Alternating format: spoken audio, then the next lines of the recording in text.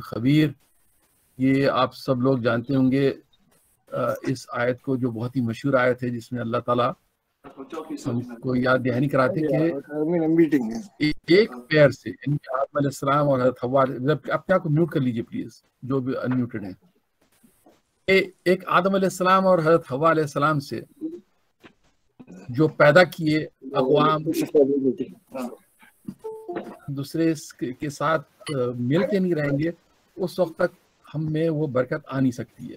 और इसी बात अल्लाह ताला आगे भी इस आयत ये आगे जो आयत है मैं आयत पूरी अर्थ नहीं लेकिन यहाँ अल्लाह ताला हमको याद दिलाता है कि अपने जो वालदेन है उनके साथ वालदेन के साथ जब सुलूक होता है उसी तरह हमारे दूसरे अज़ीज़ और अकरबा के साथ भी उसी तरह से होता है।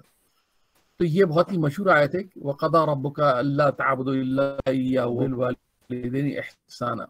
तो इस बात को शुक्र है अल्लाह ताला के हमारे ख़ानदान में हम इस चीज़ का हम सबको एहसास है, अपने वालदेन के हम सब बहुत ख्याल रखते हैं। रसूल पाक वसल्लम की तीन अहादीस मैं यहाँ पर कोट किया हूँ। जो एक है बुखारी शरीफ से, एक तबरानी से है तीसरी है आदाब मुफरद में कोटेड ये तबरानी वाली जो है ये तिरमिजी में भी है और जो बुखारी वाली है ये मुस्लिम में भी है जिसमें सबसे पहले पहली हदीस में अल्लाह ताला फरमाते हैं कि जो शख्स अपना रिस्क बढ़ाना चाहता है और अपनी ज़िंदगी को भी तवील करना चाहता है तो वो अपने जो टाइज अज़ीज़ अकबा के साथ जो टाइज है उनको बेहतर करना ज़रूरी है।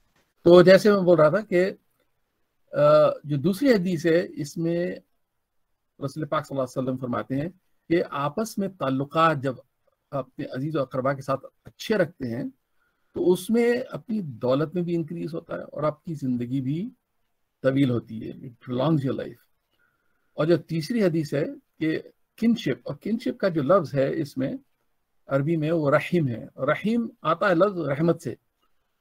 तो यानी आपस में हमारे जो ताल्लुकात हैं, वो भी रहमत का बेसिस है।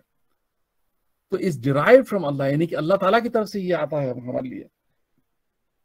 If anyone maintains ties of kinship Allah maintains ties with him if anyone cuts him off Allah Allah cuts him off यानी कितनी अहम बात है कि हम आपस में ताल्लुकात जब रखते हैं तो अल्लाह ताला हमारे साथ ताल्लुक रखता है। और अगर हम काट देते हैं तो अल्लाह ताला भी हमसे ताल्लुक काट देता है। ये बहुत बड़ी बात है। तो ये बातें मेरे ख्याल इंसान को इस पे सोचना और गौर करना बहुत ज़रूरी है ताकि हम जो आपस में जो ताल्लुक रखते हैं कभी कभी इख्तलाफात हो जाते हैं, लेकिन वो इख्तलाफात को ख़त्म करके आपस में ताल्लुकात को बढ़ाना बहुत ज़रूरी है। तो ये जो प्रोजेक्ट जो मैं शुरू किया ये आज का जो एजेंडा है वो बुनियादी तौर पर इसमें कुछ इंट्रोडक्टरी रिमार्क्स है मेरे जो अभी शुरू में मैं कुछ बातें कहना चाहूँगा। और फिर मैं आगे जाके हमारे जो अर्ली एंसेस्टर्स हमारे ऑरिजिन क्या हैं उसके बारे में थोड़ी तफसील और रसुल पाक वसल्लम के ज़माने में क्या हुआ और फिर किस तरह से ये तीन जो ख़ानदान जिससे हम लोग सब आए हैं, यानी कि जो सैयद हैं, सिद्दीकी, फारूकी, वो कैसे नीचे आए और क्या आके जुड़े, कैसे हैं, इसके ऊपर थोड़ी सी मैं रोशनी डालूँगा। तो जो इंट्रोडक्टरी रिमार्क्स में जो मैं बात यही कहना चाह रहा था कि जो अगर हम सोचें अपने अपने जो ताल्लुकात हैं, वो क्यों अहम और कैसे हैं? मुझे याद है, आज से कोई पैंतीस साल पहले जब मैं ये काम शुरू किया तो उस वक्त कभी किसी भी महफिल में बैठता तो कोई मुझे दूर दराज का रिश्तेदार मिलता वो कहते हैं कि आप मुझे नहीं पहचाने। मतलब मैं तो नहीं पहचाना आप मुझे पहचानते तो आप बता दीजिए मैं कौन हूँ या आप कौन है? तो वो खुद उनको भी नहीं मालूम बताता कि हमारा आपस में रिश्ता क्या है। यानी खानदान या तो इतना बड़ा हो गया या कभी हमने ये आ, हम ये कभी कोशिश नहीं की है कि आपस में जाने के हम आपस में कैसे रिश्तेदार हैं क्यों हैं क्योंकि रिश्तेदारी दो तरह से, खूनी रिश्तेदारी है और वो रिश्तेदारी है जो कि आगे चल के हम जो आपस में मिलाप करते हैं, उससे और ज़्यादा बढ़ जाती रिश्तेदारी। तो एक दूसरे को जाने, एक दूसरे से बोलचाल करें, एक दूसरे की मदद करें, इन तमाम चीज़ों से इतना ज़्यादा उसका फ़र्क पड़ता है। तो वो चलते चलते जब मैं कुछ ढूँढने लगा, कुछ किताबों से कुछ पूछ के कि भाई अपने बड़ों से कि भी कौन क्या है, किधर है तो अपने चार्ट्स बनाना शुरू किया। वो वो दी तकरीबन तीन, साढ़े तीन दिहाइयाँ यानी कि डिकेड्स का ये काम है, जिस पर ये किताब फिर शाया हुई है। और मैं ये चाह रहा था कि मेरे मरने से पहले कम अज कम जिस हद तक हो सके, इस काम को महफूज कर लिया जाए। एक अनफॉर्चुनेट बात है मैं कहूँगा कि बहुत सारी बातें हमारे बुज़ुर्गों की, वो हम भूल गए हैं। या ये कि वो रिकॉर्ड नहीं हुई। जो भी वजह थी, या तो हमारे बुज़ुर्ग लिख के नहीं गए, छोड़ नहीं गए हमारे हमारे लिए, या ये कि मसरूफियात ऐसी थी कि नहीं हो सका, या किसी की ज़िंदगी बहुत शॉर्ट थी कि वो मुकम्मल इस पर कुछ काम नहीं कर सके। लेकिन अनफॉर्चुनेट बात यह है कि ये तमाम चीज़ें जो हैं, वो बहुत सारी बातें जो है ना, वो अब रह गई। यानी कि लॉस टू हिस्ट्री वाली बात है। तो मैं ये बात को सोचते हुए कि भी कम अज कम जो कुछ मैं रिसर्च किया, उसको जिस हद तक मैं इसको रिकॉर्ड कर लूँ, ताकि जो हम आपस में, इस आपस में शेयर करें ये इन्फॉर्मेशन और हमारी आने वाली नस्लें भी इससे फ़ायदा उठा सकें। जो पिछली नस्लें गुजरी हैं, उनमें आज से सौ साल पहले एक किताब शाया हुई थी, जो कि हर शख्स कोट करता है। किताब का नाम है मशायर खंदार, या मशायर खंदार दखन, जो कि दादा के ख़ानदान का उसमें ज़िक्र है, काफ़ी हद तक। उसके अलावा दादा, यानी सैद अहमद कादरी साहब मरहूम, जो उस पर काम किए हमारे सूफी पप्पा के साथ मुकदस टेक माल उससे कम अज़ कम हमारी दादी के ख़ानदान का बहुत कुछ पता चला उसमें।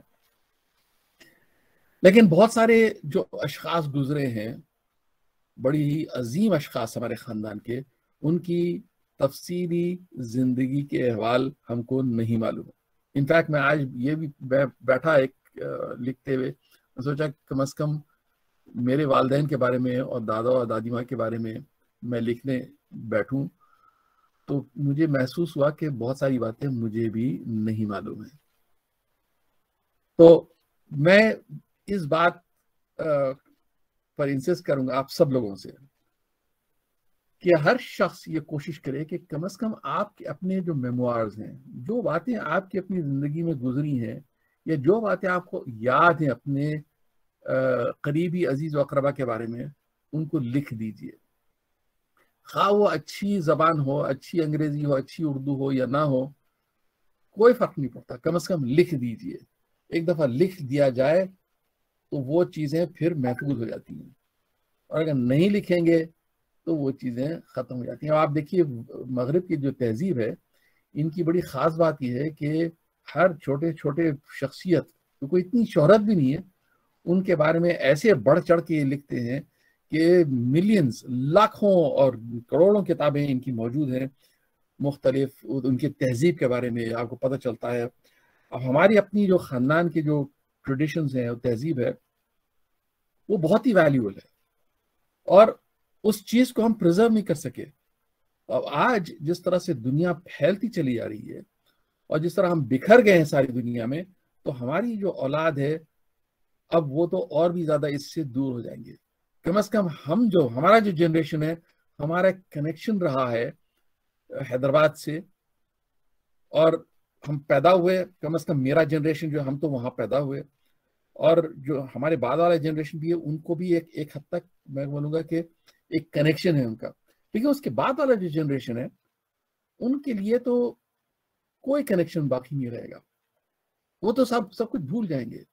और अब जब मैं ये किताब शाया किया तो मुझे हैरानगी ये हुई कि दूर दराज के लोग, दूसरे खानदानों से जो इसमें जुड़े हुए हैं, वहाँ के लोग इतनी हैरानगी के साथ आके मुझसे कांटेक्ट किए कि भी इतना सारी सारी इन्फॉर्मेशन आपको कहाँ से मिली और कैसे मिली? और उनकी जो औलाद है, वो बेहद इंटरेस्टेड है कि भी हम जाने हमारे रूट्स क्या हैं।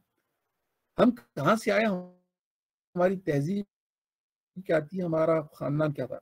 अनफॉर्चुनेटली मेरी जो किताब है, ये सिर्फ़ रिश्तेदारी बताती है, लेकिन उन लोगों की तफसील पर कोई ज़्यादा रोशनी नहीं डालती है।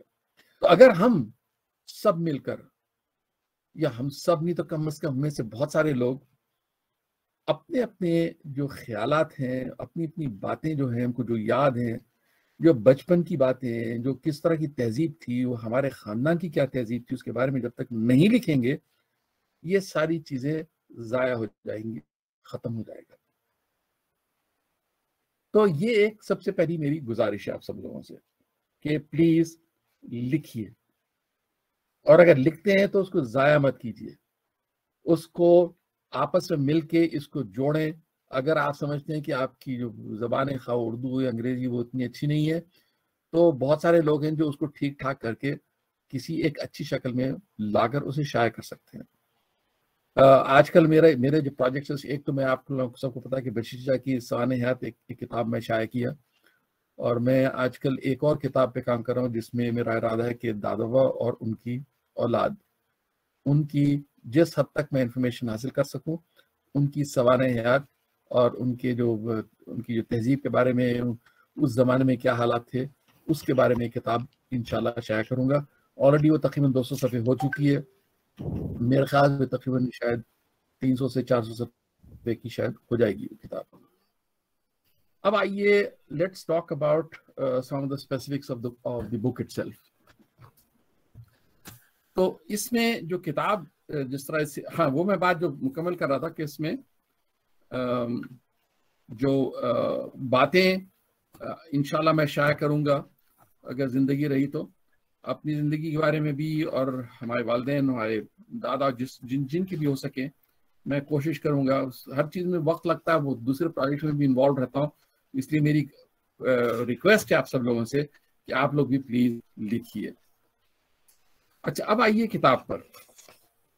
जो किताब है, अगर आप आप लोगों के पास किताब मौजूद होगी, आई होप आप लोगों के हाथ में तो इस किताब में पाँच सेक्शंस हैं।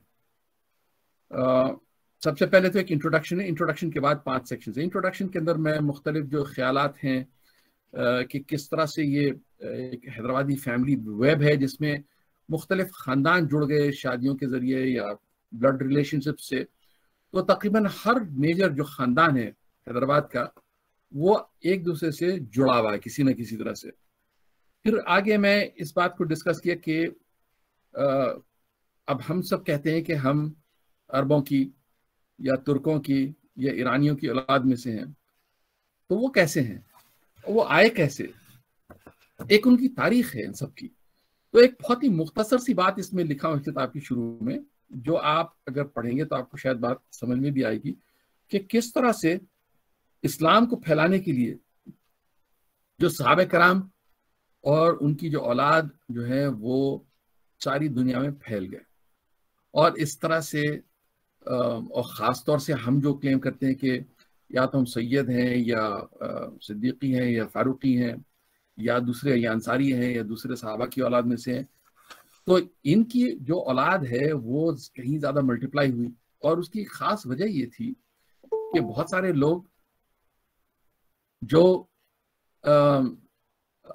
चाहते थे कि हमारा रिश्ता किसी न किसी तरह से इन खानदानों के साथ हो तो उनमें शादियाँ होती थी आपस में बहुत ज़्यादा। और बहुत ही ज़्यादा इसको इज़्ज़त दिया करते थे। तो इस तरह से ये जो खानदान है, ये होते होते इवेंचुअली तकरीबन दो तीन सौ, चार सौ साल के बाद आप देखते हैं कि हिंदुस्तान भी पहुँच गए इनफैक्ट अगर रसुल पाक की अपने दौर को आप देखें तो कई सहाबा जो थे, वो आपके, आपकी ज़िंदगी में ही तजारत के लिए साउथ इंडिया को, इंडोनेशिया और चाइना तक भी पहुँच चुके थे। उनकी मज़ारें वहाँ मौजूद हैं। तो ये कोई हैरानगी वाली बात नहीं है कि हम अगर ये कहें कि हमारा रिश्ता जाके अरबों से मिलता है या उन कुरैश के साथ या उनकी औलाद में से हम लोग हैं तो ये कोई बहुत बड़ी बात नहीं है। अच्छा फिर उसके बाद जो दूसरी बात, तीसरी बात इसमें जो लिखा हुआ है वो यानी कि सैयदों में, सिद्दीकियों और फारूकियों में जो आपस में इंटर मैरिजेस है, इसका तो हमारे पास एक रिकॉर्ड है जो रिसेंट टाइम्स में तो बिल्कुल क्लियर है। कि जितने ये जो पिछले चंद जनरेशन का रिकॉर्ड जो इसके अंदर मैं मैं डाला हूँ, उसमें अगर आप देखेंगे कि आपस में इनके इंटर मैरिजेस बहुत ज़्यादा हैं। और बशीर शाह ये बात मुझसे कहा करते थे कि, बेटा, ये हर जनरेशन में, हर जनरेशन में इस खानदान की बेटी उस खानदान में दी गई या उस खानदान की बेटी इस खानदान में दी गई और ये हकीकत है ये।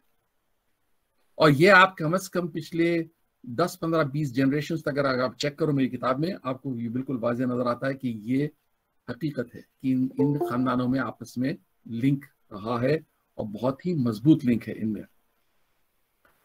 अच्छा फिर इसमें कुछ और चीज़ें मैं जिसके इसके ऊपर मैं डिस्कस किया हूँ कि हमारे खानदानों में सूफिया कराम कई गुजरे हैं और बहुत ही अजीम सूफिया गुजरे हैं हमारे आबा अजदाद में।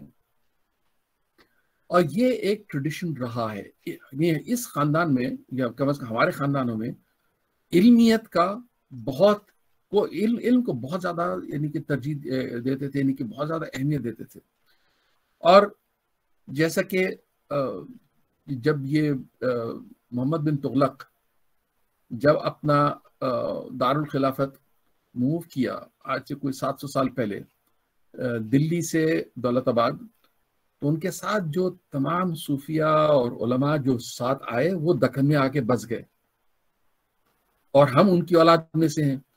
और इसी वजह से जो कजात है, या मोतसिब होना है, या ये दूसरे जो अहम जो जो रुतबे दिए गए, वो उसकी बुनियाद यही थी कि जिस जिस शख्स के पास इल्म था, उसको वो उस जमाने के जो बादशाह थे, वो ऑनर करते थे। और ऑनर इस तरह से करते थे कि भी उनको अहम पोजीशन अपनी हुकूमत में या अपनी गवर्नेंस में दे, दे दिया करते थे। और ये ट्रेडिशन जनरेशन से जनरेशन पे ट्रांसफ़र होता गया।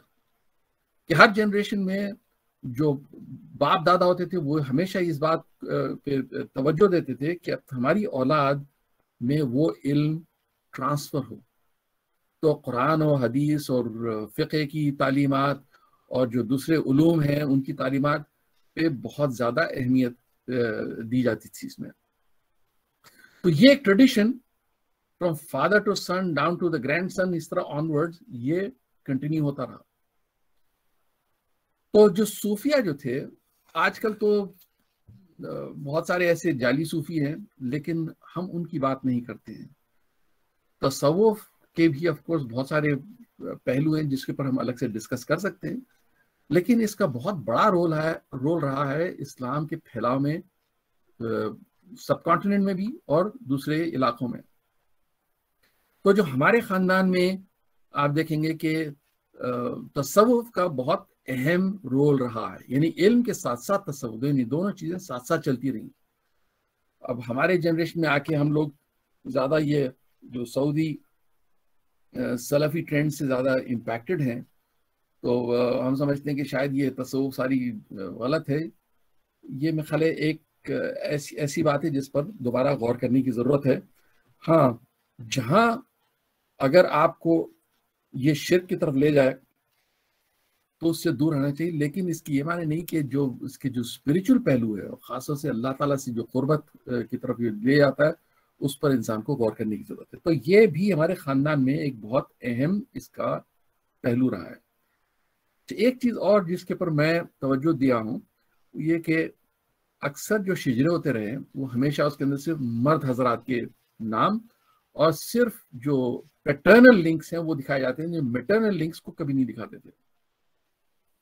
तो जिस बात को, यानी कि जो जो अकरबा है, यानी कि जो रिलेटिव्स हैं, वो सिर्फ़ पैटर्नल नहीं होते हैं मेटर्नल भी, यानी कि मेरे खालाजाद भाई बहन या जितने मेरी दादी का के, रिश्तेदार या मेरी परदादी के रिश्तेदार हैं वो भी मेरे रिश्तेदार हैं आखिर। वो रिश्ता बहुत अहम है और इसीलिए इस किताब में मैं पूरी कोशिश किया हूँ कि जहाँ तक हो सके जिस जिस खातून का नाम मिल सके उसमें मैं लिखा हूँ। और जहाँ नहीं मालूम है कम अज कम पता है कि वहाँ एक बेटी पैदा हुई तो मैं बेटी का ज़िक्र कर दिया कि बेटी है और बेटी की फला खानदान में शादी हुई। अच्छा एक जो अहम जो पहलू आता है कि ये जितना सारा डेटा है इसके अंदर, वो किस हद तक वो सही भी है? इसमें गलतियाँ हो सकती मैं इस इसका एतराफ करता हूँ। क्योंकि बहुत सारे लोग जिस नीयत से भी वो डेटा अपना लिखे हैं, उसमें हो सकता है किसी की नीयत खराब हो या किसी के लिखने में गलती हो, या ये कि अब कई केसेस में ये होता रहा कि वो सेम नाम हर, हर दो जनरेशन के बाद रिपीट होता है। जैसे कि इब्राहिम का बेटा मोहम्मद मोहम्मद का बेटा अली फिर उसका बेटा इब्राहिम फिर मोहम्मद फिर अली फिर इब्राहिम मोहम्मद अली इस तरह से रिपीटेड है।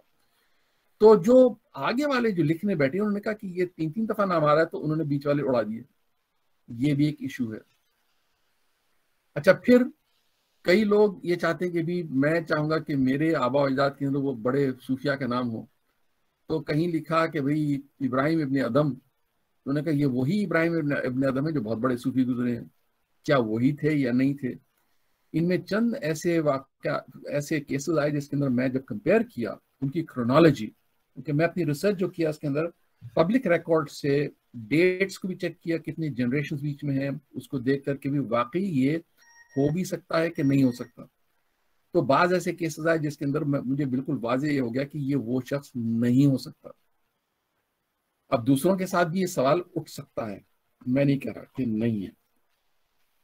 अच्छा ये किताब छपने के बाद बहुत सारे लोग मुझे कांटेक्ट किए कि भी इसमें नाम लिखने में गलती हो गई या इसमें कुछ रिश्तेदारियाँ मिस हो गई या कुछ गलत आ गए हैं।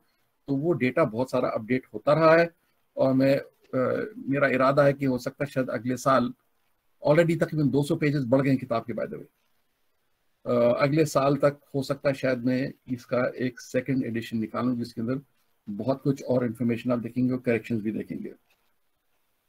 अच्छा जो कुछ चंद अहम जो अशखास हैं, उनकी मैं बहुत ही तीन तीन चार चार लाइन की बायोग्राफीज भी लिखा हूँ।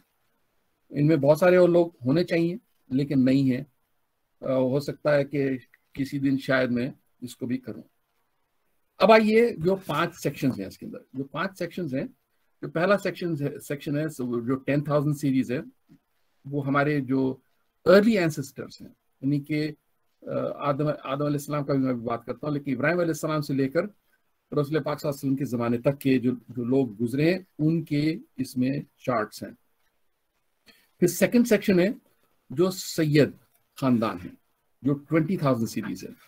फिर थर्टी थाउज़ेंड सीरीज़ है, जो कि सिद्दीकी खानदान है, हज़रत अबू सिद्दीक की औलाद है जो फोर्टी थाउज़ेंड सीरीज़ है, वो फारूकी ख़ानदान है और फिफ्टी थाउज़ेंड सीरीज़ जो है, वो या तो तुर्कों की औलाद हैं, या पर्शियंस हैं, या हदरमीज हैं, या कोई और हैं, या जिनको मैं डिटर्मिन नहीं कर सका, उनको मैं फिफ्थ सेक्शन में डाल दिया। तो ये एक तो आपको स्ट्रक्चर बता दिया मैं किताब का और इसके अंदर कई लोग ये पॉइंट आउट किए कि शायद मुझे नेम इंडेक्स डालना चाहिए। नेम इंडेक्स बनाऊँगा तो तकरीबन को तीन चार सौ सफे का तो ही बनेगा। तो हो सकता है शायद सेकंड सेकंड एडिशन में कोशिश करूँगा कि नेम इंडेक्स भी आ जाए। तो अब आइए लेट्स टॉक अबाउट ये हमारा अब आगे का presentation suppose I have to go back again to मैं यहाँ से चेंज नहीं कर सक रहा हूँ इसको। I have to go back to the presentation itself अच्छा बीच में अगर कोई और लोग आगे तो सर मुझे आप बताइए तो फिर मैं वापस उस स्क्रीन पे जाके उनको एंटर कर दूँगा। वरना अब ये है कि मुझे इस स्क्रीन से चलाना पड़ेगा वरना मैं ये आपको आ, कुछ दिखा नहीं पाऊँगा। अच्छा तो एजेंडा हो गया। और एजेंडा के बाद अब आइए अर्ली एंसेस्टर्स पर। हम सबको ये इस बात का इल्म है कि क्योंकि अल्लाह ताला हमसे कह चुका कि हम सब आदम सलाम की औलाद हैं। आदम सलाम थे कौन? कब थे? क्या थे? ये वहाँ एक मुम्मा है। क्योंकि बाइबल ये कहता है कि वो ही lived about six thousand years back around four thousand B C लेकिन ये मुमकिन नहीं है। ऑब्वियसली हम सबको पता है कि अब आसार कदीमा से और जो कार्बन डेटिंग से हमको पता ही चलता है कि इंसान तकरीबन एक मिलियन, यानी दस लाख साल से ज़्यादा पहले मौजूद था दुनिया में। तो आज क्या आदम सलाम एक, क्या एक नई नस्ल थी जो छह हज़ार साल पहले पैदा हुए? या ये कि आदम आज से दस लाख साल या बीस लाख साल पहले थे? आलम, हमको इसका इल्म नहीं है। क्योंकि कुरान ये बात से हमको आगाह नहीं करता डज नॉट से कि when did Adam Islam actually live तो अब कई, खासतौर से बाइबल में वो अपने नॉलेज देता है कि आदम अलैहिस्सलाम से लेके इब्राहिम अलैहिस्सलाम तक। मैं डालने को इस किताब में डाल सकता था, लेकिन मैं सोचा कि वो बात गलत हो जाएगी, क्योंकि उसमें हो सकता है कि वो नाम गलत ना हो। वो नाम उन अहम लोगों के हैं जो कि हो सकता है 100, 200, 400 साल के बाद हज़ार साल के बाद बीच में आते रहे। कोई अहम लोग हैं जिनके नाम याद रह गए या दर्ज किए गए बाइबल में बाकी लोगों के नाम नहीं है। तो उसको लिखने का मैं, मुझे मैं सोचा कि वो कोई फ़ायदा नहीं है तो उसको मैं इग्नोर कर गया। अब आइए इब्राहिम अलैहिस्सलाम से। इब्राहिम अलैहिस्सलाम से एक हद तक हमको बात थोड़ी सी वाजे नज़र आती है। उसकी वजह यह है कि कुछ तो आसार कदीमा से हमको मिलता है और कुछ तो बाइबल के, क्योंकि कुरान में भी कोई तारीख वगैरह तो है नहीं इब्राहिम अलैहिस्सलाम की, उनके बारे में जो कुछ बताया गया, वो इसलिए बताया गया कि उससे हम सीखें, अपनी ज़िंदगी को बेहतर करें।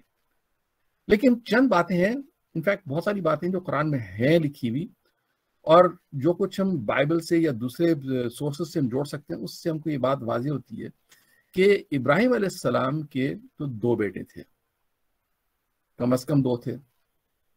बड़े बेटे इस्माइल सलाम और छोटे बेटे इसहाक सलाम। बाइबल की डेटिंग के मुताबिक इब्राहिम सलाम का वजूद सम समवेयर अराउंड ईसा सलाम से तकरीबन 2000 से 1700 से 2000 साल पहले वजूद था उनका। हो सकता है कि 500 साल और पहले हो, नहीं कह सकते हैं, लेकिन let's assume for a minute के ये डेट सही है। और ये मुमकिन भी है, उसकी वजह मैं बताऊँगा आपको, क्योंकि उनके जो छोटे बेटे इसाक सलाम हैं, उनके, इसाक सलाम के बेटे थे याकूब अलैहिस्सलाम। आप राइट साइड पे देखेंगे, उसमें जो आ रहा है कि इसाक अलैहिस्सलाम, उनके बेटे याकूब अलैहिस्सलाम याकूब अलैहिस्सलाम के बारह बेटे थे। और उनमें से जो ग्यारहवें बेटे थे, उनका नाम था यूसुफ अलैहिस्सलाम। और यूसुफ अलैहिस्सलाम, हमको कुरान में भी इसका ज़िक्र है कि वो जब मिस्र चले आते हैं वो पूरा मैं लंबी कहानी तो आपको नहीं सुनाऊँगा जब मिस्र चले आते हैं तो मिस्र जाने के बाद वहाँ पर वो वहाँ के सबसे अहम वज़ीर बन जाते हैं। और वज़ीर बनने के बाद उनके बाकी ग्यारह भाई भी आके उनके साथ वहाँ बस जाते हैं, उनकी औलाद वहीं मिस्र में रहती है। और वहाँ रहते हुए अगले तीन चार चार सौ साल में जो भी वाकत हैं जिसकी तफसील हमें नहीं मालूम है, ये बनी इसराइल। बनी इसराइल इसलिए कहलाते हैं क्योंकि याकूब अलैहिस्सलाम, उनकी जो, यूसुफ अलैहिस्सलाम के जो वालिद थे याकूब, उनका नाम था इसराइल। तो उनकी, बनी इसराइल के माने इसराइल की औलाद। ये बारह जो कबीले थे, ये बारह बेटे हैं, वो बनी इसराइल हैं। तो बनी इसराइल जो है, वो वहाँ पर हमको ये मालूम है कि वो स्लेव्स बन जाते हैं गुलाम हो जाते हैं वहाँ पर। जो मिस्री जो वहाँ पर तहजीब थी, वो उन पर काबिज हो जाती है। अच्छा मिस्र के बारे में इतना हमको मालूम है कि उनके जो रूइंस हैं, जो पिरामिड्स एहराम है उससे हमको ये बात मालूम है कि इनकी जो तहजीब है, वो तकरीबन 3300 से 3500 साल पहले ईसा इस्लाम से शुरू हुई थी। यानी कि ये जो जो तहजीब है इनकी। तो इसके माने ये है कि इब्राहिम इसाक अलैहिस्सलाम और याकूब अलैहिस्सलाम ये सब के सब उसी दौर के हैं। यानी कि समवेयर एनीवेयर बिटवीन इब्राहिम अलैहिस्सलाम 2000 से 3000 साल पहले हो सकते हैं, ईसा अलैहिस्सलाम से उससे पहले नहीं थे। क्योंकि इब्राहिम अलैहिस्सलाम भी जब जाते हैं मिस्र, वहाँ जाके उस जमाने के फिरौन से मिलते हैं। फिर उनके बाद हम देखते हैं कि ये जो दौर है, यूसुफ अलैहिस्सलाम से लेकर मूसा अलैहिस्सलाम तक का दौर, ये चंद सौ साल का दौर है। बाइबल कहता है कि 400 साल है वो आलम, हो सकता है 500 हो सकता है 800 साल है, बहरहाल यही कोई दौर है। तो इसलिए हमको इस बात का इल्म है। दूसरी तरफ़ आइए ऑन द लेफ़्ट साइड आप देखेंगे इस्माइल अलैहिस्सलाम। इस्माइल अलैहिस्सलाम के औलाद में एक शख्स था जिसका नाम था कैदर। इसका ज़िक्र बाइबल में भी आता है। और ये बाज लोग कहते हैं उनका बेटा था, बाज कहते हैं इनकी औलाद में से था मतलब उनकी जनरेशन में चंद जनरेशन के बाद था। बहरहाल जैसे भी हो, लेकिन कैदार की औलाद से तकरीबन कोई जो आ, हमको जो इब्ने इसहाक या दूसरे सीरत की किताबों में मिलता है कि तकरीबन दस से पंद्रह जनरेशन के बाद एक शख्स आता है जिसका नाम है अदनान जिनको मैं सर्कल किया हूँ रेड में। अब ये जो मसला ये बनता है कि 10 से 15 जनरेशन नहीं हो सकते हैं क्योंकि इब्राहिम या इस्माइल अलैहिस्सलाम से लेके अदनान तक बहुत सारे जनरेशन और होंगे। तो बहुत मुमकिन यही है कि ये भी वो मशहूर अशखास हैं जिनके नाम रह गए हैं। बाकी जो माइनर पर्सनैलिटीज हैं, उनके नाम लोग याद नहीं रखे कि भाई मैं मैं कहने को मैं कह सकता हूँ, मैं काइज अल्लाद्दीन की औलाद में से हूँ। मैं अगर, जबकि वाले साहब, बाबा काजी अब्दुलरशीद साहब मेरे लिए बहुत अहम है, लेकिन हो सकता है कि आगे की जनरेशन कहें कि भी हाँ हम काजी जैन साहब की औलाद में से हूँ। तो कहें काजी जैन की बेटे हैं। तो इस तरह से बीच के जो जनरेशन हैं, उनके नाम लोग भूल सकते हैं और भूल गए तो इस तरह से यहाँ से मैं एलिमिनेट कर दिया। अब आइए फिर अदनान से। अदनान का ये कुछ जो आसार कदीमा मिले हैं, खासतौर से जो नबाती नबाती ये वो हैं जो कि सऊदी अरब में भी अगर आप देखिए ये खैबर से और आगे मदाइन साले के नाम से रूइंस मिलते हैं, या पेतरा के रूइंस हैं जो जॉर्डन में है। वहाँ पे एक सिविलाइजेशन थी जिसका नाम था नबाती। ये नबाती जो कौम थी, जो शायद जिनको आद भी कहते हैं, कुरान में जिनका ज़िक्र है मोस्ट लाइकली ये वही कौम है। और ये इनके, ये तकरीबन ईसा इस्लाम से तकरीबन पाँच सौ साल कबल कुछ इंस्क्रिप्शन मिले हैं इनके, जिसमें अदनान का ज़िक्र आता है, वहाँ पे लिखा हुआ, उनका नाम अदनान का है मौजूद। तो क्या हो सकता है, यही अदनान है? बहुत मुमकिन है, क्योंकि शोहरत तो है अदनान की। और अदनान को बहुत मशहूर आदमी माना जाता था कि उनकी, हर शख्स ये कहना चाहता था कि भाई मैं अदनान की औलाद में से हूँ। और अरब जो है, वो अपने आप को दो पार्ट्स में डिवाइड किए थे। जो सदर्न अरब्स थे, जो यमन साइड के खासों से, वो कहते थे हम कहतानी हैं, जबकि जो नॉर्थ के अरब्स थे, वो सारे के सारे अपने आप को अदनानी कहते थे, जो अदनान की औलाद में से है। अब मैं कतान की बात अभी नहीं करूँगा, सिर्फ़ हम अदनान की बात करते हैं। तो अदनान की औलाद में से जो कह अगर हम अस्यूम करें कि ये वही अदनान है तो तकरीबन ईसा से पाँच सदी कबल ये मौजूद शख्स था। और अदनान से लेकर कुरैश कुरैश था तकरीबन रसुल्ला तकरीबन तीन सौ साल पहले। जो शख्स आपका, आपके जो जो जद है, कुरैश। तो अदनान से लेके कुरैश तक का जो दौर है, तकरीबन 800 से हज़ार साल का दौर है। और वहाँ पर जो नाम जो दिए जाते हैं इब्न साक में या दूसरे किताबों में, वो तकरीबन ये कितने दस बारह नाम है बस बीच में। दस बारह नाम हो नहीं सकते, क्योंकि अगर आप 800 हज़ार, बारह सौ की अगर तारीख को लेंगे तो उस बीच में और बहुत सारे नाम होने ज़रूरी है, क्योंकि जमाने में एक जनरेशन बहुत शॉर्ट होता था, इतना वैसे भी तवील हो नहीं सकता था कि सौ सौ, डेढ़ डेढ़, सौ सौ साल की उम्र एवरेज जो उसकी नहीं हो सकती है। लेकिन फिर भी मैं ये जो मशहूर नाम जो दिए हैं इनको मैं लिख चुका हूँ। इनमें तीन अहम नाम है। एक तो अदनान ऑफ़ कोर्स जैसे मैं जिसका मैं ज़िक्र कर चुका हूँ। सेकंड जो बीच में आता है ये आप जो सर्कल है किनाना। किनाना एक बहुत बड़ा कबीला था। और किनाना से जितने उस इलाके के खासतौर से मक्का और तायफ और इस, इस इलाके की जो तमाम जो कबाइल थे वो सब के सब अपने आप को किनाना की औलाद कहलाते हैं। और किनाना बहुत ही उसके बारे में बहुत सारी बातें तारीख में लिखी गई हैं कि बहुत ही अच्छा और बहुत ही मशहूर आदमी था ये, बहुत ही पावरफुल आदमी भी था ये। किनारा का पड़पोता, ये कम अज कम हो सकता पड़पोता ना हो सकता, और चार जनरेशन बीच में हो, वो था कुरैश। और कुरैश के आगे की जो तारीख है, वो तकरीबन में खले बिल्कुल सही है, जो हमारे पास, जिसका इंफॉर्मेशन मौजूद है। तो इस वास्ते मैं ये सारे नाम आपको बता रहा हूँ, ताकि आप लोग को मालूम होना चाहिए कि कहाँ तक हम पीछे जा सकते हैं, जहाँ हम ये कहें कि हाँ ये मुस्तनद है बात। अब आइए कुरैश पर। कुरैश का असल नाम था फेहर। और फेहर के वैसे तो और भी बहुत सारी औलाद थी, लेकिन जो मशहूर कोई पाँच बेटों के नाम ये मैं लिख दिया, जो आपको सीरत की किताबें मिलते हैं। और फिर गालिब का बेटा, लोई लोई का बेटा, काब काब का बेटा मुर्रा। अच्छा मुर्रा का बेटा किलाब किलाब का बेटा सई। कुसई का नाम मैं जो लिखा सर्कल है, जो रेड सर्कल है, ये वाला। कुसई की बहुत शोहरत थी और ये खासतौर से कुरैश मक्के के जो कुरैश थे उनमें उनका ये सरदार था प्रीटी मच और बहुत ही पावरफुल आदमी था ये। और कुसै के बेट का बेटा अब्दुल मनाफ अब्दुल मनाफ का, का, बेटा हाशिम और हाशिम का बेटा अब्दुल मुत्तलिब रसूल पाक के दादा। तो ये हमको ये पूरी ये पूरा जो लिंक है ना यानी कि अब्दुल मुत्तलिब से लेके कुरैश तक का हमको ये सही मालूम है। अच्छा इस, इसमें मैं सिर्फ़ इसलिए आपको ये चार्ट दिखा रहा हूँ, इसमें जो कुरैश के जो कबाइल हैं, वो मैं आपको दिखा सकता हूँ, जो खासतौर से जिनका सीरत की किताब में जो मशहूर जो नाम आते हैं कि कुसई अब्दुमनाफ अब्दुमनाफ के, की जो औलाद है, उनमें से खासतौर से हाशिम और अब्द शम्स हाशिम के बनु हाशिम, जिसमें रसुल पाक सल्लम है, और अब्द शम्स अब्द शम्स जो दूसरा भाई था हाशिम का छोटा भाई। अब शम्स का बेटा था उमैया। उमैया की औलाद बनु उमैया, जिनमें हज़रत उस्मान भी आते हैं, अबू सुफियान भी हैं और ये तमाम लोग, जो इनकी औलाद में से आप देखें कितना करीबी रिश्ता है आपस में इनका। अच्छा कुसाई कुसाई का एक भाई था, जिसका नाम था जोहरा। और जोहरा की औलाद में से हज़रत बीबी आमिना है। अच्छा कुसाई, ये अब्द मनाफ जो है अब्द मनाफ का एक भतीजा है असद। ये बनु असद में से हज़रत बीबी खदीजा है। तो आप देखेंगे आपस में इनमें रिश्ता में आगे अगली स्लाइड में थोड़ा और तफसील बताऊँगा इसमें। अच्छा एक जनरेशन पीछे चले जाए कुसाई के जो वालिद हैं किलाब उनके एक छोटे भाई थे तैम और तैम की औलाद में से हज़रत अबू बकर। और आ, आ, जो तैम का सबसे छोटा भाई यकजा उनकी औलाद में से है जो मशहूर अबू जहल।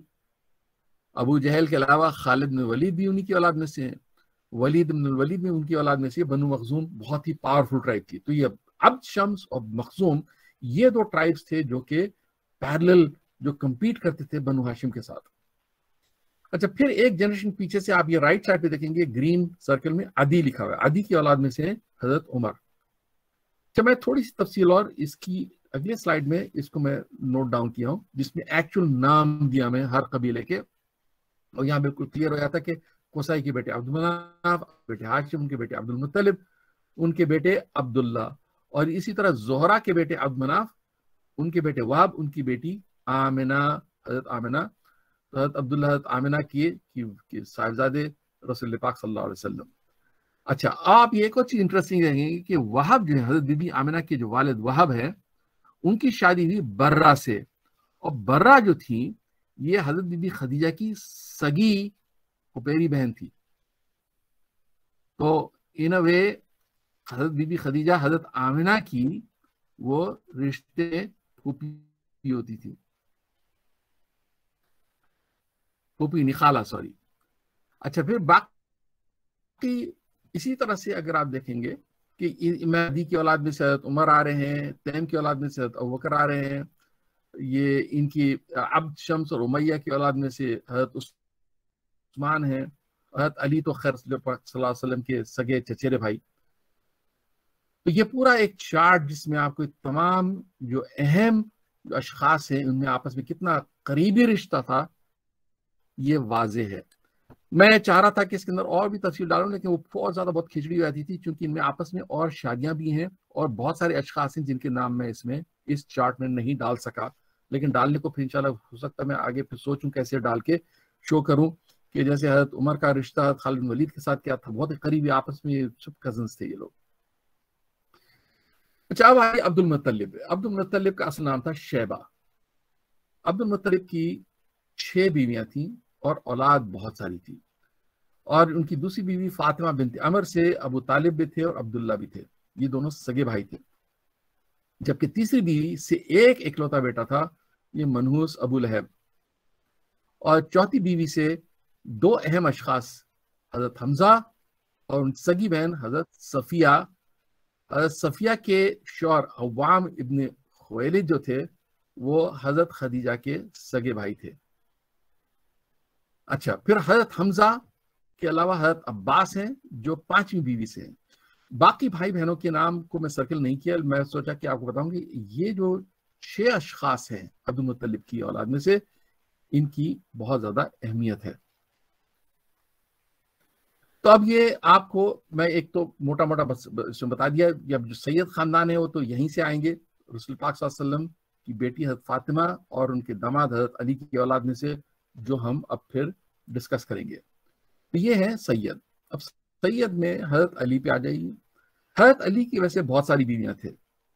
जब तक हज़रत फातिमा बाहयात थी, वो किसी और से शादी नहीं किए। लेकिन आप हज़रत बीबी फातिमा की औलाद के इंतकाल के बाद वो कई शादियाँ किए और उनसे औलाद बहुत सारी भी है। जो शोहरत है, वो दो औलाद की है जो हम सब जानते हैं, इमाम हसन और इमाम हुसैन, जो हज़रत फातिमा के दोनों बेटे थे। और एक इंटरेस्टिंग बात यह है कि इन्हीं की नीचे अगर आप देखिए तो इनकी सगी बहन जो है, उम्म कुलसुम, वो हज़रत उमर से जिनकी शादी हुई। ये भी बिल्कुल क्लियर है और हज़रत अली की ज़िंदगी में हुई शादी। अच्छा एक और शख्स इसमें बहुत अहम है हज़रत अली की औलाद में, जो तारीख में अगर आप, अगर इस्लामी तारीख पढ़ेंगे तो वो आपको समझ में आएगा। ये है मोहम्मद इबन, इब्न हनफिया ये इनकी छठी बीवी जो थे, खौला बिन जाफ़र, जो बनु हनीफा से थी, उनके बेटे थे और इनका बहुत बड़ा रोल था, बहुत ही ज़बरदस्त शख्स थे ये।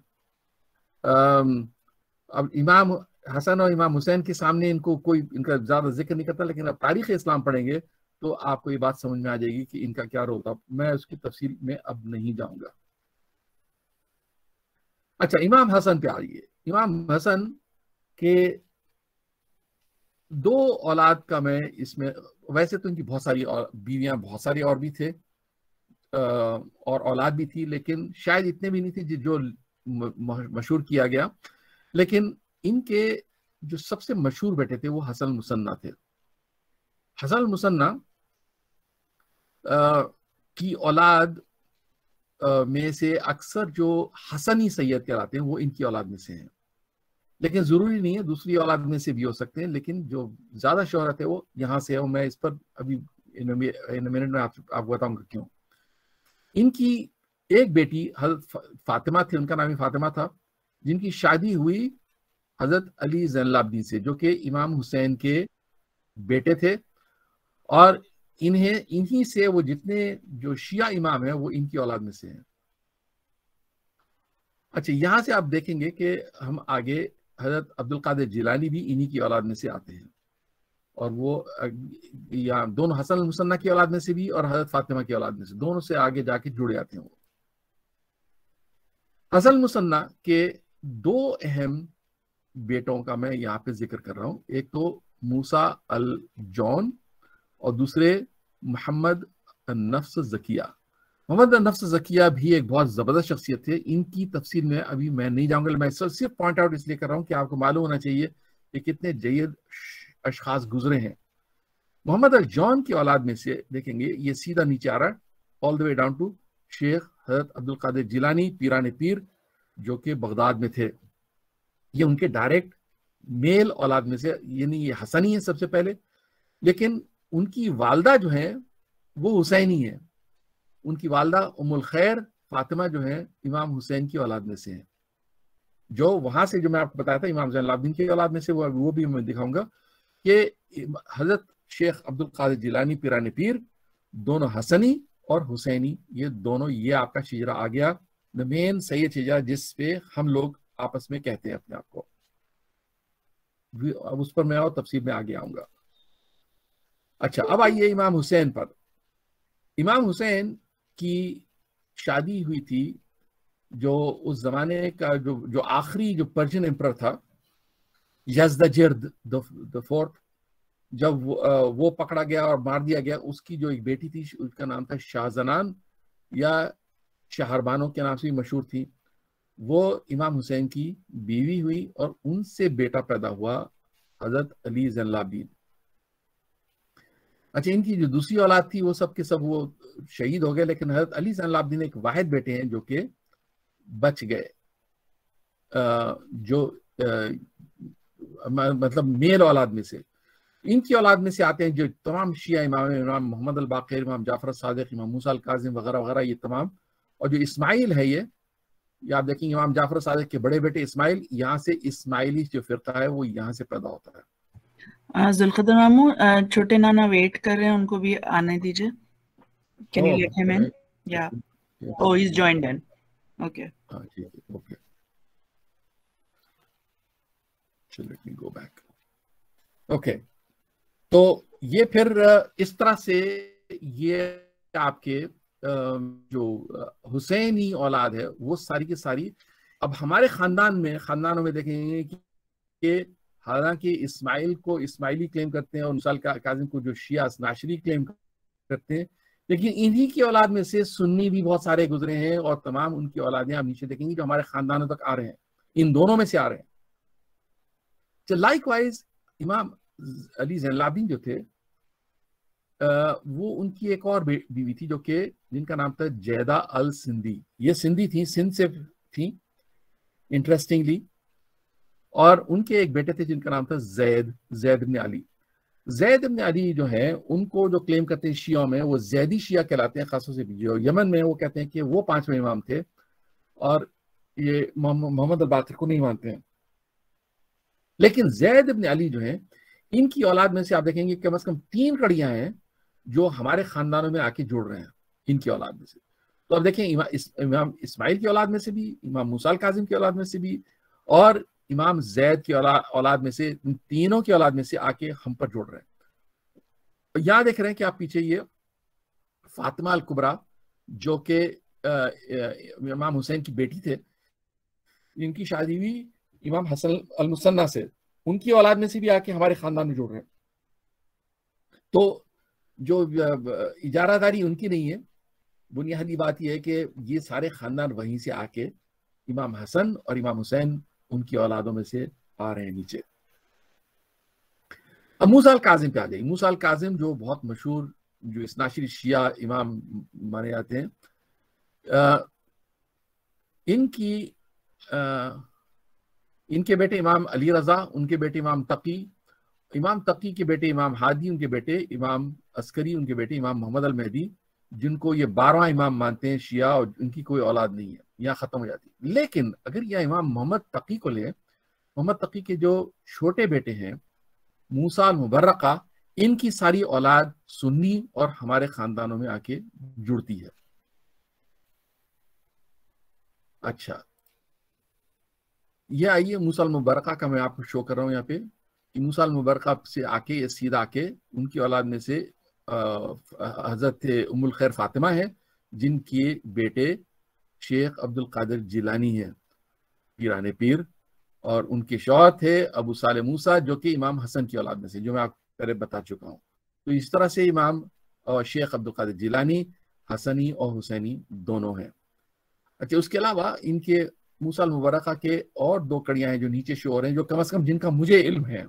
और बहुत सारे जो उनके औलाद में से हम शोर और दूसरे कभी लिंक्स मिलेंगे तो मैं जोड़ता चले जाऊँगा लेकिन यहाँ पे ये शो हो रहा है आपका कम अज कम ये दो और लिंक्स आ रहे हैं जो हमारे खानदानों में या जिन जो खानदान मेरी किताब में है, उनको आके ये जोड़ रहे हैं। अच्छा अब आइए सदर शेख अब्दुल कादिर जिलानी पे। मैं आपको बता चुका हूँ कि किस तरह ये दोनों हसनी, हुसैनी दोनों हैं। इनके जो दूसरे बेटे थे, शरफुद्दीन उनकी बेटी एक थी, जिनका नाम था अगेन बीबी फातिमा फातिमा तो बड़ा ही मकबूल नाम है। और हर हर जनरेशन में कोई ना कोई फातिमा ज़रूर होती है, हर खानदान में। तो ये शरफुद्दीन साहब के नवासे थे हज़रत बाउद्दीन जकरिया मुल्तानी, जो कि सिद्दीकी हैं। तो आप देखेंगे कि बाउद्दीन जकरिया मुल्तानी, अब उनका ननियाल जो है, वो सैयद है ददियाल उनका सिद्दीकी है। मैं इस पर बाद में आऊँगा बाद में। तो फ़िलहाल इसको हम छोड़ देते हैं। लेकिन शेख अब्दुल कादिर जिलानी के वैसे तो औलाद बहुत ज़्यादा थी। मैं चंद नाम यहाँ पे, जो चंद मशहूर नाम है उसमें लिखा हूँ, सबके नाम नहीं है यहाँ पे। उनके शायद चालीस पचास औलाद थी टोटल तो उसमें से जो एक, जो हमारे खानदान से जाके जुड़ते हैं, वो है अबू बकर ताजुद्दीन अब्दुल रजाक जो यहाँ पे लिखा हुआ ये नाम। जो सेंटर में आप देखेंगे, अब अबू बकर ताजुद्दीन अब्दुल रजाक तो अबू बकर ताजुद्दीन अब्दुल रजाक उनकी औलाद जो है वो ये है।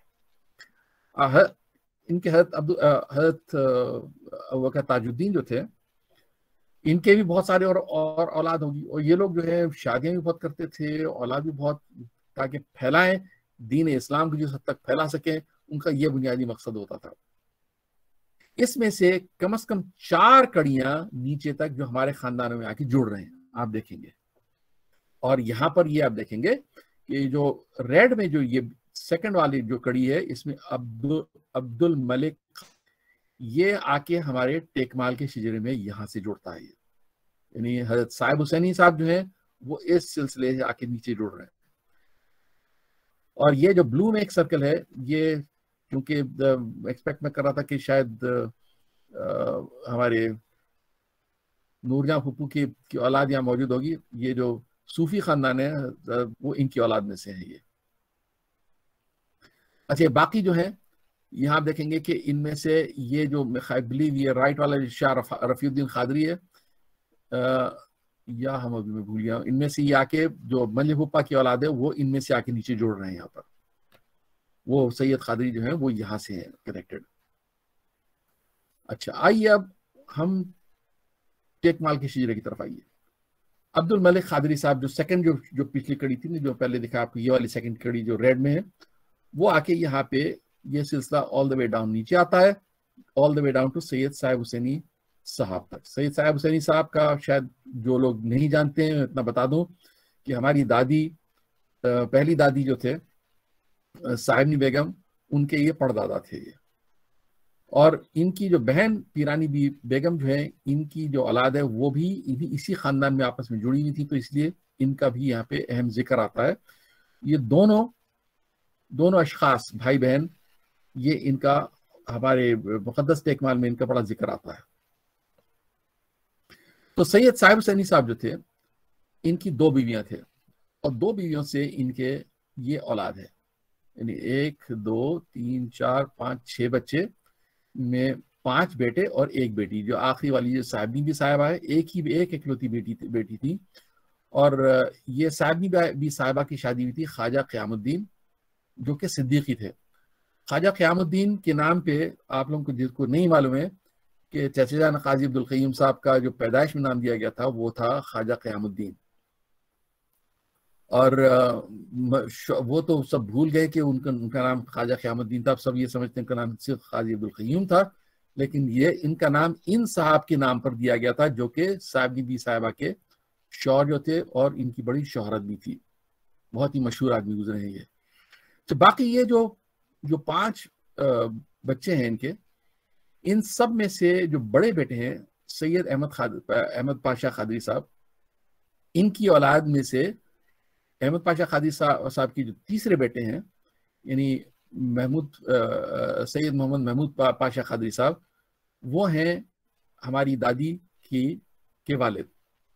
और यहाँ देखो कि ये साहबनी बी साहिबा की बेटी थी अमतुल फातिमा शहजादी बेगम उनकी शादी हुई महमूद पाशा खादरी से। तो, तो हमारा जो रिश्ता बनता है इनसे यहाँ भी बनता है और यहाँ भी बनता है। डबल है ये। आपको इसलिए समझ में बात आएगी कि क्यों चचेजान का नाम को नाम ख्वाजा क़यामुद्दीन दिया गया। क्योंकि उनकी साहबनी बेगम बी बेगम साहबा की कि वो आ, वालदा भी थी। वा, वालदा के वाले थे निके निके नाना थे उनके ख्वाजा क़यामुद्दीन। तो ये दोनों तरफ़ से ये रिश्ता है आपका। अच्छा बाकी जो, ये जो अशखास हैं तमाम, ये पूरे का पूरा कुंभा इसका मैं अब वो आगे किताब में अगर आप देखेंगे, पूरे चार्ट नंबर दिए आज मैं इनको तफसील से नहीं डिस्कस करूँगा, वरना बहुत लंबा हमारा सेशन हो जाएगा। तो मैं इसको आप, आपकी मुताले पे छोड़ देता हूँ कि आप हर चार्ट नंबर को देखिए, उससे आपको पता चल जाएगा कि किससे क्या रिश्ता बनता है इन, इस टेकमाल साइड पर। अगर आप चाहेंगे तो मैं उसको पुल आउट करके फिर आपको दोबारा स्क्रीन पे भी दिखा सकता हूँ कौन क्या है इसमें। तो महमूद पाशा खादरी साहब के पाँच बच्चे थे। सबसे बड़ी बेटी गौसिया बेगम, फिर समदानी बेगम, फिर साबनी बेगम, जो तीसरी बेटी थी, जो काजन साहब की पहली बीवी थी और हमारी पहली दादी। और फिर उसके बाद सैद अहमद कादिर साहब, जिनके औलाद ऑफ़ कोर्स इनके तीन बच्चे। आप सब जानते हैं आमिना पप्पू फिर उसके बाद आरिफ शाह और आसिफ शाह और आरिफ शाह ये ये इनकी उनका डिटेल ये एक ही बेटे थे उनके, बाकी सारी बेटियाँ। सबसे छोटी बेटी जाहिदा बेगम, जो ख्वाजा आजमुल्ला सिद्दीकी साहब से जिनकी शादी हुई, वो भी एक्चुअली ख्वाजा आजमुल्ला सिद्दीकी साहब देखेंगे किताब में। अगर चार्ट पे जाके लिंक देखेंगे तो वापस जाके वहीं जुड़ते हैं। उसी, इसी खानदान में, यानी ख्वाजा क्यामुद्दीन साहब जिनका मैं ज़िक्र किया ऊपर, उन्हीं की, उन्हीं के खानदान में जाके जुड़ जाते हैं वो। तो जाहिदा बेगम साहिबा के औलाद, हम हम सब जानते हैं कौन कौन है। महमूद भाई, हामिद शाह अरे सिराज भाई, विलायत भाई, अहमद, ये लोग और हमारी उनकी सारी बहनें, वो सब इनकी औलाद में से हैं। और जो कि अब सब आपस में इतनी ज़्यादा रिश्तेदारी आपस में इंटर मैरिजेस बहुत ज़्यादा है। तो अब इससे आपको सबको वाज हो गया कि ऊपर से नीचे तक हम कैसे यहाँ तक पहुँचे और यहाँ मैं इस सैयद सिलसिले को रोक दूँगा। बाकी अगर आप और तफसील देखना चाह रहे हैं या पूछना चाह रहे हैं, मैं डिस्कस कर लूँगा, लेकिन we'll stop and move on to the सिद्दीकियों में बड़ा इंटरेस्टिंग इनका वो है। ये हज़रत अबकर सिद्दीक की चार बीवियाँ थी, लेकिन सिर्फ़ छह औलाद थी उनकी। थी ही छह और चार ही बीवियाँ थे इनके पहली बीवी से इनके दो बच्चे थे, हज़रत असमा और हज़रत अब्दुल्ला अबन वकर दूसरी बीवी से हज़रत आयशा बीबी आयशा रज़ी और हज़रत अब्दुलरहमान थे।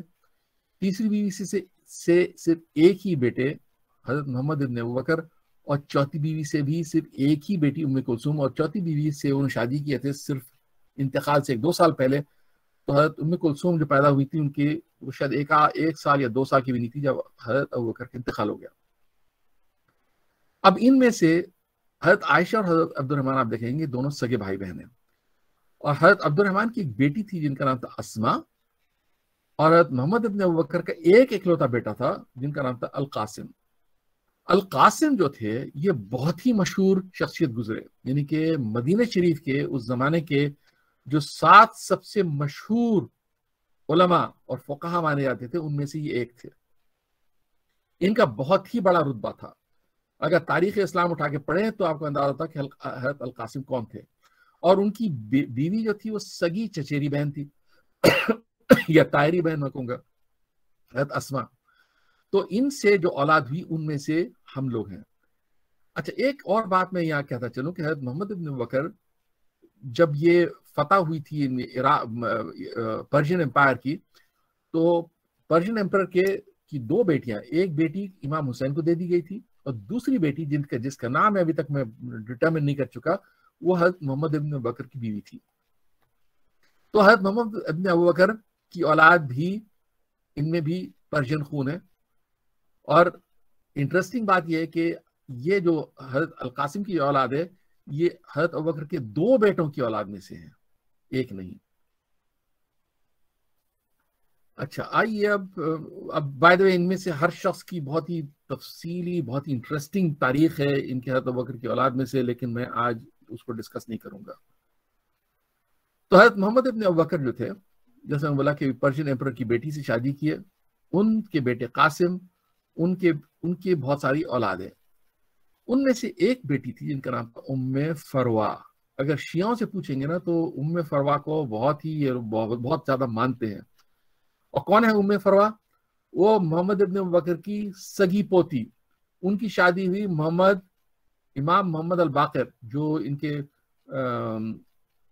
पाँचवें इमाम हैं, शियाओं के पहुंचाते चौथे, पांचवे, इमाम हसन, हुसैन, अली चौथे इमाम। चौथे इमाम, जो चौथे इमाम है, जिनको सबसे ज़्यादा ये लोग मानते हैं, उनकी उनकी बीवी जो है, वो सिद्दीकी है। उनके बेटे इमाम जाफ़र सादिक। तो जो ये बकवास ये करते ना कि कि हज़रत अबकर उनके साथ जुल्म किए और फला वगैरह।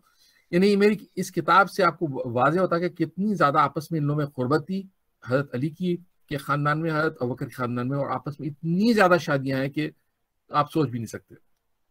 लाइक हज़रत उमर के ख़ानदान से। अच्छा अब इसमें से जो इनके एक भाई थे, जिनका नाम था शेख अहमद रजा। शेख अहमद रजा की औलाद में से कई जनरेशन नीचे आप आएँगे तो देखेंगे, ये सर्कल नीचे हुआ हुआ राइट साइड पे। हज़रत बाउद्दीन जकरिया मुल्तानी। हम जो सिद्दीकी हैं, वो इनकी औलाद में से हैं। लेकिन यहाँ आप देखेंगे कि यहाँ और भी दूसरे, मैं चार चार और, तीन और कड़ियाँ बताया हूँ, जो कि मुख्तलिफ़ सिद्दीकी खानदान जो इस किताब में, जो जिनका ज़िक्र है, उन पे जाके नीचे जुड़ रहे हैं। और उन खानदानों को मैं अभी डिस्कस नहीं करूँगा आज। अच्छा आइए वापस भाउद्दीन जकर मुल्तानी पे। भाउद्दीन जकर मुल्तानी के जो औलाद थी, वो भी बहुत सारी औलाद थी, लेकिन उनके सबसे बड़े बेटे थे शेख सदरुद्दीन आरिफ। भाउद्दीन जकर मुल्तानी की मज़ार मुल्तान में है। मैं गया हूँ, वहाँ मौजूद, वहाँ बहुत ही ज़बरदस्त मज़ार उनकी बनी हुई है।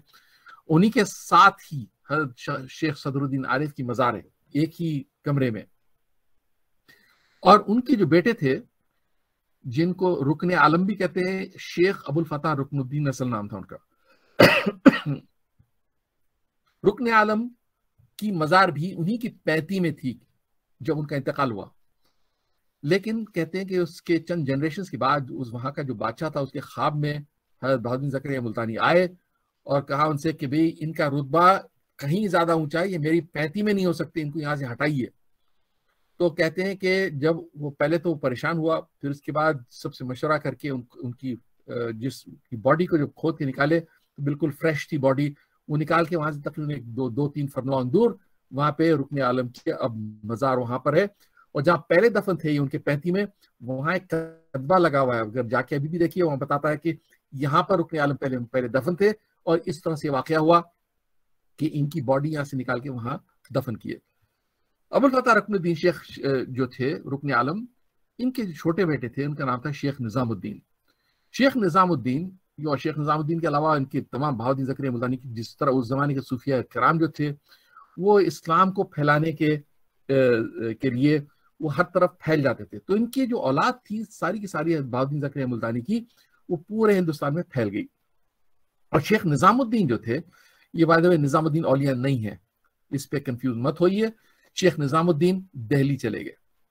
और दिल्ली में जब थे तो ये वो दौर था जो मोहम्मद बिन तुगलक का। मोहम्मद बिन तुगलक का दौर था अप्रॉक्सीमेटली 1353 यानी आज से कोई सात, साढ़े छह सौ, सात सौ साल पुरानी बात है ये। तो साढ़े छह सौ, सात सौ साल पुरानी पहले जो है, हुआ ये कि मोहम्मद बिन तुगलक अपना जो दारुल खिलाफत है, यानी कि कैपिटल, वो दिल्ली से मूव कर गया दौलताबाद। और दौलताबाद है औरंगाबाद के करीब, जो आपके साउथ में। जहाँ आजकल तमाम हमारे कंदार उदगीर वगैरह जहाँ के हम लोग काजी हैं या रहे हैं हमारे आबा अजदाद उस इलाके में ये दौलताबाद पे अपना बड़ा ज़बरदस्त कैपिटल बनाया। उस कैपिटल को जब बनाया तो जितने भी उमरा थे, जितने मशहूर लोग थे और उलमा थे और सूफिया थे, वो पर फोर्स सारे दौलताबाद मूव हो गए। उनको शेख निजामुद्दीन को वो काजी बीड़ और काजी काजी काजी कुजात ऑफ़ दक्कन बना दिया। ये अपॉइंटमेंट उनको दिया। इस तरह से बहुत दूसरों को मुख्तलिफ़ अपॉइंटमेंट्स दिए। तो लेकिन फिर बाद में हुआ ये कि ये लोग जो सलातीन थे, जब वो दौलताबाद वाली बात बनी नहीं और दिल्ली बहुत इंपॉर्टेंट जगह थी तो ये लोग वापस दिल्ली चले गए। लेकिन कई उमरा इंक्लूडिंग ये लोग जो थे, यानी कि शेख निजामुद्दीन और उनकी औलाद, ये वहीं रह गए, ये नहीं गए वापस। लाइकवाइज आप देखेंगे कि जो फारूकी सिलसिला भी हमारे खानदान का उनके भी जद जो है, वो भी इन्हीं के साथ आए थे, वो यहाँ आके बस गए और इसी दौर में आके बसे हैं। तो हम लोग यानी कि आज से 700 साल पहले यहाँ दखन मूव हो चुके थे हमारा हमारा खानदान। तो इनकी औलाद में आप देखेंगे कि नीचे आप ये तमाम नाम आ रहे हैं और इनकी तारीख भी है। इनमें काजी मोहम्मद सिद्दीकुल्ला जो थे, ये एक, दो, तीन, चार, पाँच, छठे, छठी डाउन फ्रॉम शेख निजामुद्दीन, ये उस उस जगह के चौदह कस्बों पे, यानी टाउन्स पे, वो काजी करार दिए गए। और ये दौर था तकरीबन अकबर से थोड़ा पहले, हुमायूं के, हुमायूं और बाबर के दौर में, उस जमाने में ये काजी सिद्दीकुल्ला साहब, ये चौदह शहरों के, ये शहर तो नहीं बोलना कहूँगा, कस्बों के ये काजी बना दिए गए। उनकी जैसे जैसे औलाद होती गई तो उनमें आपस में बटते गए। और ये किसी को कोई किसी गाँव का या शहर का या कस्बे का काजी करार दे दिया या मोहतसिब बना दिया या खतीब बना दिया तो इस तरह से एक ही खानदान में ये अहम पोजिशन चले आए। तो यहाँ से आइए, अब आप ये काजी सिद्दीकुल्ला के जो पोते थे, काजी मोहम्मद हुसैन साहब, और इनकी डेट है, आप देखेंगे 1687 में इंतकाल हुआ इनका। तो काजी हुसैन साहब जो थे, काजी हुसैन साहब के एक दो तीन सक्कर पो, पोते के पोते जो थे काजी शमसुद्दीन अली असदुद्दीन ये बहुत ही मशहूर आदमी गुजरे हैं। अब जमाने में बड़े आलिम और फाजिल और आप बहुत ही इनका एक, एक दर्जा था इनका। वैसे पिछले वालों का के भी दर्जे हैं लेकिन इन इनकी ज़्यादा हमारे पास तफसील है फिर भी काजी शमसुद्दीन असदुद्दीन साहब की। काजी शमसुद्दीन असद और यहाँ से हमारी कड़ी चलती है। बाद ये सारे जो है ये सारी कड़ियों के नाम भी जो दिए हैं इनसे भी और कड़ियाँ चले आ रहे हैं नीचे। अब जैसे फॉर एग्ज़ाम्पल ये काजी हैदरुद्दीन है, ये पान गाँव के जो काजी है, वो यहाँ से आते हैं। और ये काजी कमरुद्दीन साहब जो है, यहाँ पर ये कमरुद्दीन साहब इनकी इनकी जो औलाद है बहुत ही मशहूर है ये भी। असदुद्दीन साहब, शमसुद्दीन साहब जो थे, इनके एक बेटे थे बेटे तो बहुत सारे थे बड़े बेटे थे काजी अलाउद्दीन, जिनको उदगीर की कजात दी गई। और काजी अलाउद्दीन साहब के दो बेटे थे, जिनकी हम हम तारीख में जो पढ़ते आते हैं, बड़े भाई थे काजी अजीमुद्दीन साहब, जो ग्रीन कलर में सर्कल्ड है छोटे भाई थे काजी बदरुद्दीन खान। इन दोनों में आपस में बहुत मोहब्बत थी तो दे बिकेम ज्वाइंट काजी। लेकिन बाद में दोनों में इख्तलाफ हो गया, लड़ाई भी हुई, और एक दूसरे से जंग भी किए, और फिर उसके बाद वो सिलसिला चलता गया, जहाँ दोनों एक दूसरे से बिखर गए। लेकिन इंटरेस्टिंगली काजी असीमुद्दीन साहब की नौ बेटियाँ थी और नौ की नौ बेटियाँ बहुत ही मशहूर खानदानों में शादियाँ हुई इंक्लूडिंग काजी बदरुद्दीन साहब साहब की बदरुद्दीन खान साहब की औलाद में। तो इनके अलावा बाकी जितने मशहूर खानदान थे, उनमें इनकी शादियाँ हुई। तो काजी अजीमुद्दीन खान साहब का बहुत बड़ा रुतबा है। इंटरेस्टिंगली मैं पिछले दिनों तक, मेरे पास इनकी औलाद की ज़्यादा डिटेल नहीं थी, लेकिन अब मैं, मेरा उनसे भी कांटेक्ट हो गया और मुझे बहुत कुछ इन्फॉर्मेशन अब उनसे मिल गई है। कि वो लोग कहाँ हैं किधर है कहाँ बसे हुए हैं तो वो भी तफसील मैं इसमें फ़िलहाल स्किप करूँगा। काजी बदरुद्दीन खान साहब के बेटे थे काजी अफजलुद्दीन साहब जो कि मजजूब होके चले गए थे और वो दुनिया को छोड़ गए। बिल्कुल ही इनका जो ज़िक्र है उनके जो बेटे हैं काजी बदरुद्दीन हुसैन साहब जो यानी कि काजी साहब के, के वालिद वो अपनी जो सवाने हाथ लिखे हैं उसके अंदर काफ़ी तफसील इसकी लिखे हैं कि कैसे मैं क्यों छोड़ गए थे उनके वालिद? और दुनिया को छोड़ के जाके जंगलों में बस गए। भी कहा हुई, ये तफसील हमको नहीं मालूम है। तो काजी बदरुद्दीन हुसैन उनके बेटे, जो काजी जलाउद्दीन साहब के वालिद हैं। तो ये हमारा सिलसिला, ये चला आ रहा है। और इन सब की अपनी जगह शोहरत है और हर एक की ज़िंदगी पढ़ने वाली है। तो काजी, हम सबको मालूम है कि पहली बीवी थी साहबनी बेगम साहब जो टेकमाल से और उनके छह बच्चे। और उनका जब इंतकाल हुआ तो बच्चे सारे छोटे थे तो उसके बाद फिर फातिमा जहरा पुतली बेगम साहबा से शादी हुई उनकी। उनसे चार बच्चे उनके हैं। ये दस औलाद कायजुद्दीन साहब की, उन सब की औलाद आप लोग जानते हैं, मैं अब उसकी तफसील में नहीं जाऊँगा। और आई एम श्योर पूछना है तो मैं ज़रूर आप लोग बता दूँगा कि कौन, अगर आप नहीं पहचानते अपने कज़न को। तो ये हमारा सिद्दीकी सिलसिला है। बाकी सिद्दीकी खानदान जो इस किताब में मौजूद है वो वापस लिंक्स पे आप चले जाएँगे उन पे coming all the way down you will discover there अब आए फारूकियों पे। It's gone longer than I thought अच्छा फारूकियों में हज़रत उमर फारूक जो थे इनकी कई बहुत सारी बीवियाँ थे। और आ, आ, उनसे जो अहम ये कौन कोई आया क्या? ये गया।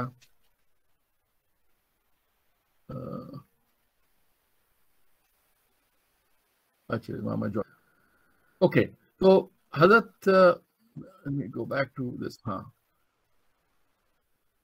तो हज़रत उमर बिन खत्ताब जो थे हज़रत उमर की कई बीवियाँ, उनमें से जो तीन अशखास का मैं ज़िक्र करूँगा। एक तो उनकी बड़ी बेटी हज़रत हफ्सा जो उम्मातुल मोमिनीन में से है, उनकी पहली बीवी से उनकी उनकी औलाद में से हज़रत हफ्सा उन्हीं के सगे भाई थे हज़रत अब्दुल्ला इब्न उमर, जिनकी औलाद में से जो अब जो हमारा फारूकी सिलसिला है वो इन्हीं की औलाद में से और थे भी बहुत ही मशहूर अपने ज़माने के सबसे मशहूर शख्स ये भी आ, मदीने के सही मानों में उलमा में से थे।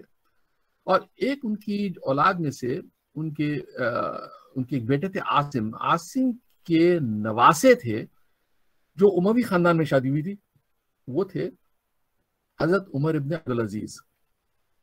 हज़रत उमर इब्न अब्दुल अज़ीज़ जो जो पाँचवें खलीफा माने जाते हैं अमंग दी क्या कहना चाहिए ऑफ़ दी राइटियस वो हज़रत उमर की औलाद में से ही थे। हालाँकि वो, उनका पैटर्नल जो है, वो जाके बनु मैया में जाके मिलता है। तो हज़रत अब्दुल्ला इब्न उमर की औलाद जो है, उसमें से कम से कम दो कड़ियाँ हैं जो जिनकी डिटेल हमारे पास इस किताब में मौजूद है। अच्छा हज़रत उमर की खानदान जो है, ये बहुत ही मैं कहूँगा कि इट स्प्रेड आउट ट्रिमेंडसली जितना, जितनी शायद इनकी जो मल्टीप्लिकेशन है, शायद किसी और खानदान की होगी, और वाकई अल्लाह ताला जो है ना, उसमें बरकत दिया है। तो इसमें ये अगर आप आइए नीचे तो ये एक जो कड़ी आ रही है यहाँ पर, ये कड़ी आती है all the way down to Sultan Shahabuddin Ali Farrukh Shah Kabuli. ये काबुल के कुछ लोग कहते हैं गवर्नर थे, कुछ कहते हैं कि बादशाह थे। उनकी औलाद में से हमारा जो फारूकी सिलसिला हमारे खानदान का, वो यहाँ से आता है। एक यहाँ पर जो कंफ्यूजन है कि इब्राहिम बिन अदम जो है, वो भी इसमें बीच में बाज बाज जो शिजरे मुझे मिले, उसमें ये शो शो था कि ये जो इब्राहिम अकबर, में लिखा हूँ कि इब्राहिम इब्न अदम है। लेकिन दूसरे कहते हैं कि इब्राहिम इब्न अदम नहीं है। तो मैं फ़िलहाल तो उसमें से हटा दिया, जबकि वो ये कहते हैं कि जो इब्राहिम इब्न अदम वो एक्चुअली इनकी औलाद में से है ये। ये बेटा जो मोहम्मद जो है ये लोग जाके बल्ख के बादशाह हुए और वो यहाँ से वो सिलसिला बल्खियों का यहाँ से आता है। जबकि अब यहाँ शो हो रहा था कि अदम और ये इब्राहिम बल्खी। तो वो यहाँ से आ रहा है जबकि वो कुछ लोग कहते नहीं वो यहाँ पर है। वल्ला आलम दो, दोनों से जो जो भी सही है। लेकिन वो कहते हैं कि वो उनका भी सिलसिला यहीं से आता है। अब ये जो फरुख शाह काबुली जो है इनकी औलाद में अगेन uh, बहुत मशहूर लोग गुजरे जिसमें हज़रत बाबा फरीद गंज शकर भी है। ये आपके देख रहे हैं कि फरुख शाह काबुली से एक दो तीन चार पाँचवें कड़ी पे बाबा फरीद का नाम आता है। और इनकी औलाद में से अगेन फिर ये या इनकी और इनके भाइयों की उनके चचाओं की औलाद में से ये टोटल चार कड़ियाँ नीचे और आ रही हैं जो हमारे खानदानों पे आके जुड़ रहे हैं। अच्छा इसमें जो परभनी जिससे जाके अब जो हमारी जो सेकंड दादी हैं, जहरा बेगम, पुतली बेगम साहबा, उनसे जो जाके मिलता है, वो परभनी से है। तो उनका, उनकी जो औलाद आती है, वो यहाँ से है और जो जो सबसे इनमें दो तीन लोग बहुत अहम है। एक तो ये काजी ताजुद्दीन कला बहुत मशहूर आदमी, और ये मलूक साहब जो कि काजी मोहम्मद अब्दुल मलिक के नाम से मशहूर थे वो कंधार और पालम के ये काजी थे। इनकी औलाद में से आगे जाके ये दोनों कंधार और पालम बट जाता है बट के। फिर आप देखते हैं कि जो हमारे अब्दुल माजिद फारूकी साहब की, की जो खानदान है वो मोहतसिब पालम बने वो इन्हीं की औलाद में से हैं। लाइक वाइज जो इधर से जो जो जो सिलसिला हमारा चला है all the way down to Parbhani वगैरह वो भी यहीं से जोड़ता है आपस में कज़न से सारे। तो ये है मलुक साहब। और मलुक साहब की जो औलाद में से ये बहुत मशहूर काजी मोहम्मद सुलेमान गुजरे हैं। काजी मोहम्मद सुलेमान की औलाद में से आप देख रही है हुसामुद्दीन काजी अब्दुल मलिक द सेकंड यहाँ पर ये हैं और ये काजी सराजुद्दीन जो कंधार के काजी बने, वो यहाँ से ये लेफ़्ट लेफ़्ट साइड पर है ये। अच्छा यहाँ ये मैं, इस जगह पर मैं मैं खाली मैं रोक देता हूँ। दूसरे जो चार्ट्स हैं, वो क्योंकि जैसा बोला कि फारूकी जो सिलसिला है इसके जो चार्ट्स हैं वो बहुत ही ज़्यादा फैले हुए हैं। इतना ज़्यादा फैलाव है इसके अंदर कि बाद सर चकरा जाता कि इतने बच्चे पैदा किए बच्चे पैदा पैदा करके हमारे खानदान को बहुत बड़ा कर दिए। वो एक्चुअली मैं कहूँ कि, कि हज़ारों के की तादाद में ये आके जुड़ते हैं और ये फारूक सिलसिला ये वाला जो है आप देखेंगे कि यही एक खानदान तकरीबन कोई तकरीबन चालीस पचास पेजेस के पर ये बिखरा हुआ तो मैं वो सोचा कि उसको फ़िलहाल दिखाने से बेहतर ये है कि यहाँ पे मैं रोक दूँ।